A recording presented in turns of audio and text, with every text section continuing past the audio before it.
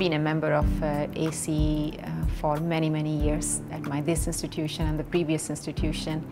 And every time I find the networking to be extremely useful. At the same time, I find uh, opportunity to learn about best practices, to really throw ideas, uh, to uh, learn about what other people are thinking, what the common challenges are, and uh, how other people are uh, trying to deal with those challenges. So ACE is always one of those uh, meetings that I look forward to.